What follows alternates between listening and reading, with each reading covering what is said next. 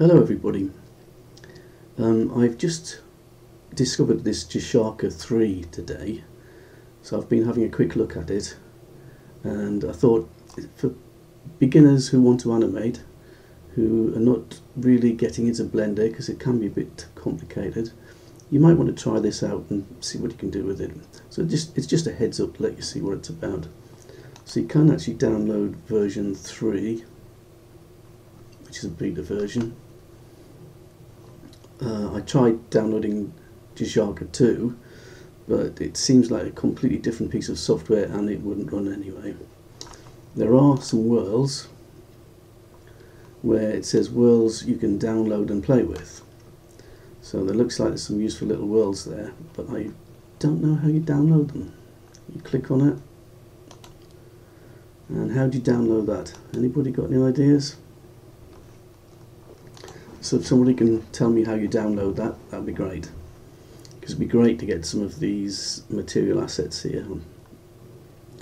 So let's go into Jahshaka. I've downloaded the program. Because it's not a well-used program, you may find that Norton, if you've got Norton, it says, sorry, you can't download this. I do have a, a video on my YouTube channel which basically says this is how you can download something that Norton won't let you do. Um, basically, you're going to go into your settings and you're, you're going to um, disable the intelligent uh, checker. So let's go into Shark and see what we get.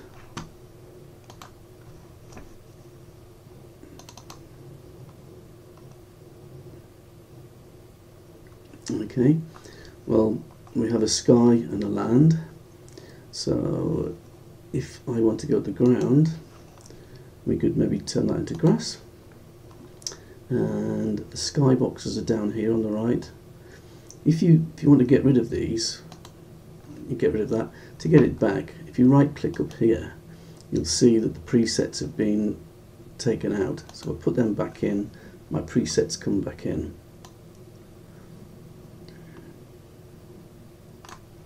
So let's go to the skybox and let's, what should we have? That, that. Let's have a look at that one. If I right click on my mouse, I can basically rotate around and if I use the mouse wheel I can zoom in or out. So let's add a primitive let's add a sphere. Okay. We can change the colour on that if we want. Or we could actually go down to the materials and perhaps put some bricks on it. So over here on the right you can see all these different things that you can change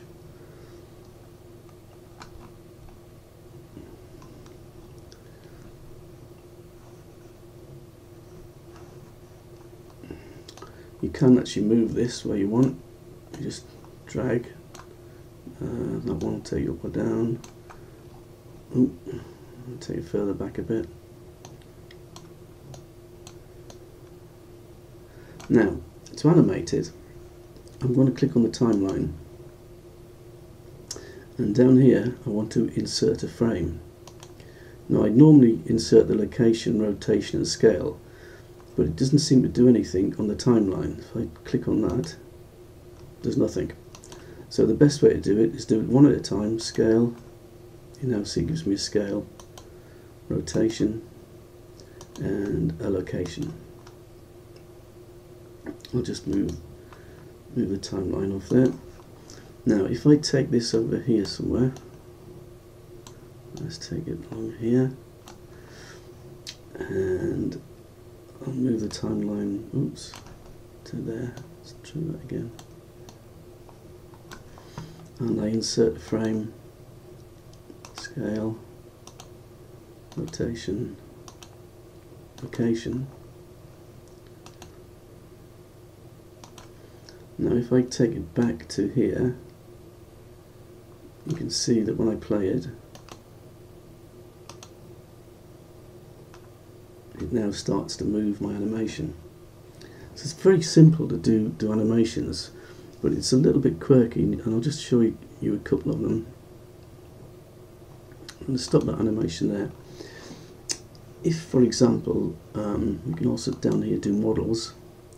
So if I bring in a, I'll double click on torus, and what I can do, texture. If I go to assets, texture, I can maybe do that as the texture. In fact, I'll do it on the, that's the reflection, let's do it on the diffuse.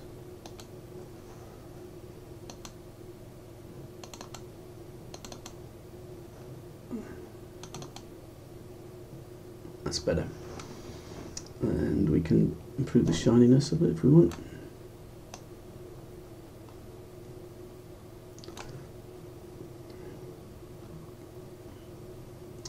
So let's try and load a different reflection, see what happens.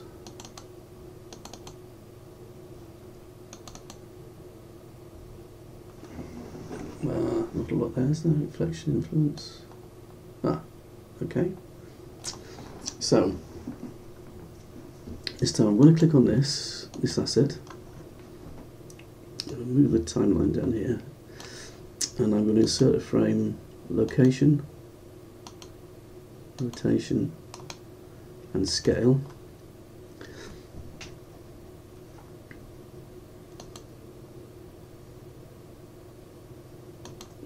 And I'll move the timeline to here.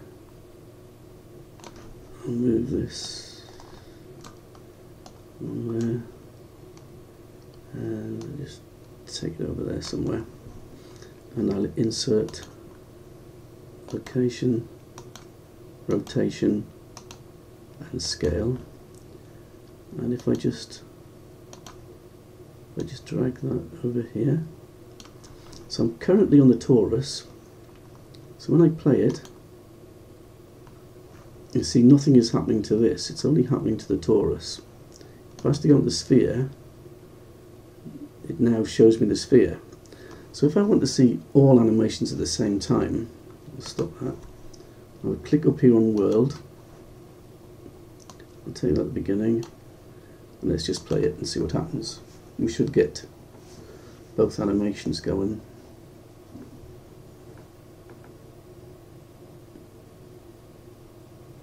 There we go.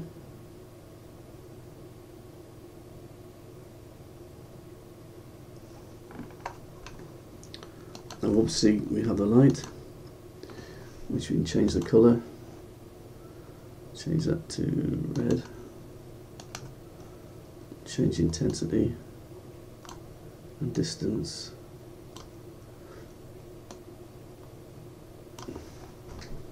Go to world, take it back see if anything happens.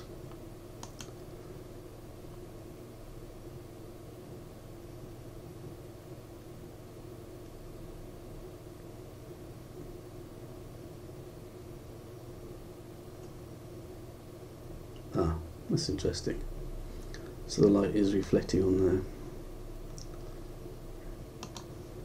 So it's really, really very simple. I'm not sure what, what you can get too much out of it. If we go to models,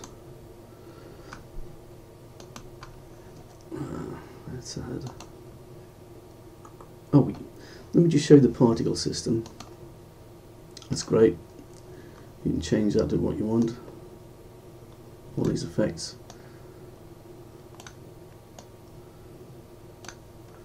And I presume you'll be able to change the colour, make some flames, that sort of thing if you want. Just get rid of that for now. Load a model. There's a dragon there. So let's bring this down.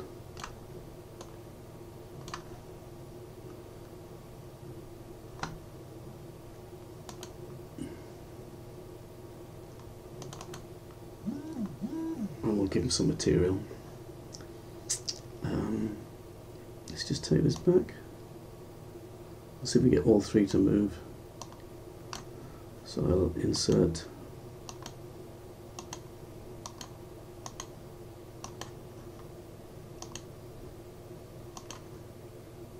hmm, move this over here.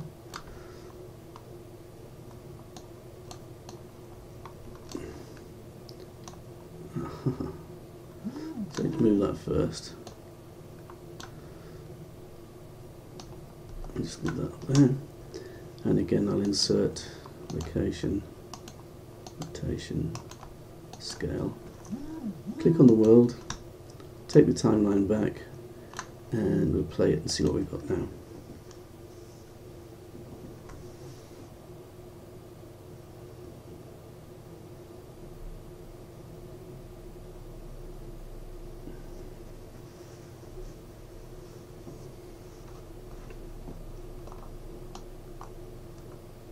Got some fog. So there's different different things you can play around with. Fog colour.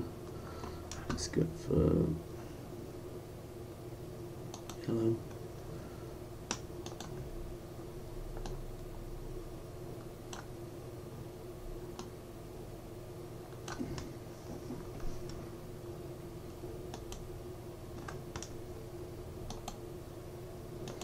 So just experiment and see what you get. Now in the app we do have more more things, models ahead. Oops.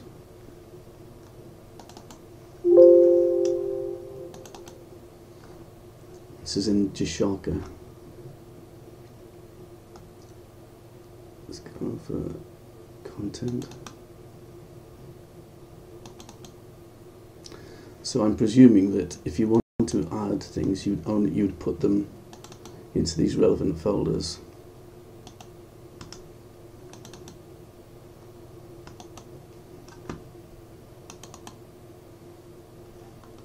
So for example, if I wanted to go to the particle system,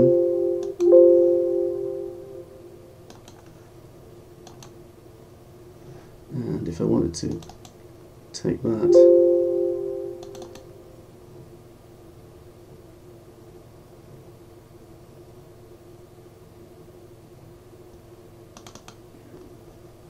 let's say I want to use that as the image instead on the particle system.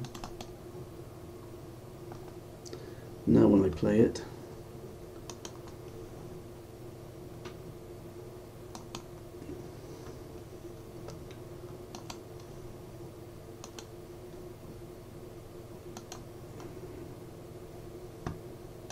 when I try to play it,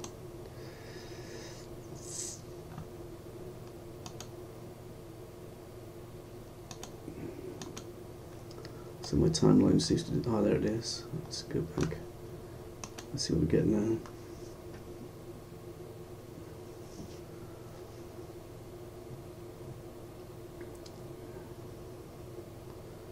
Well, it doesn't seem to be doing a lot, so I think maybe I've, I've thrown too much at it. Uh, it is in development, but it may be something you can play with. Maybe a bit easier than Blender. Um, I'm still working with it and finding out what I can do with it. You've got options up here. If I click on that, you can rotate it.